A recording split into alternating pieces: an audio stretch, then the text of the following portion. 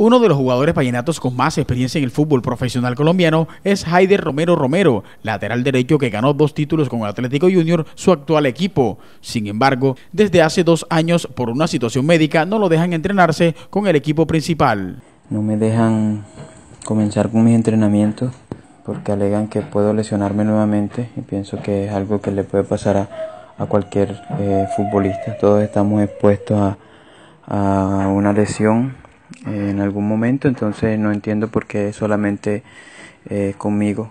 El diagnóstico oficial fue una espondilolistesis, deslizamiento de una vértebra sobre la que sigue una lesión congénita que Haider carga en sus músculos de la cadera.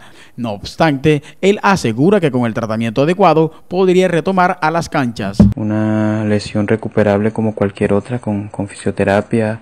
Después de la fisioterapia comenzar con entrenamientos, pero no tengo esa posibilidad. Eh, llevo eh, ya un rato sin, sin, poder entrenarme bien. Me siento de pronto eh, desentrenado, pero, pero gracias a Dios sin, sin molestia.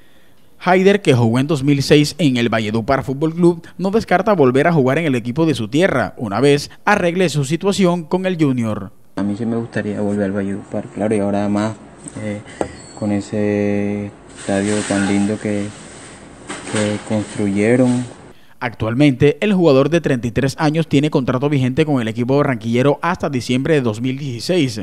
Entre tanto, el Vallenato manifestó sentirse aburrido por este inconveniente debido a que quiere volver a las canchas y siente que en Junior le están violando su derecho al trabajo.